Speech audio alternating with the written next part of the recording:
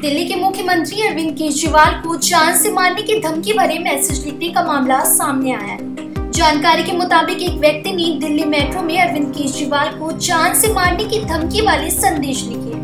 आरोपी बेहद पढ़ा लिखा है और वह एक नामी बैंक में काम करता है। साथ ही वो किसी पॉलिटिकल पार्टी से भी जुड़ा हुआ नहीं है। पुलिस सूत्रों के मुताबिक ऐसा लगता है कि आरोपी की मानसिक हालत ठीक नहीं है। हालाँकि मेडिकल के बाद इस बात की पुष्टि हो सकती है। 19 मई को पटेल नगर और राजीव चौक मेट्रो स्टेशन पर इंग्लिश में केजरीवाल के खिलाफ धमकी भरा मैसेज लिखा गया था।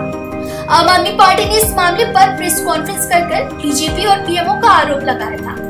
आपने इस पर एक ट्वीट भी किया।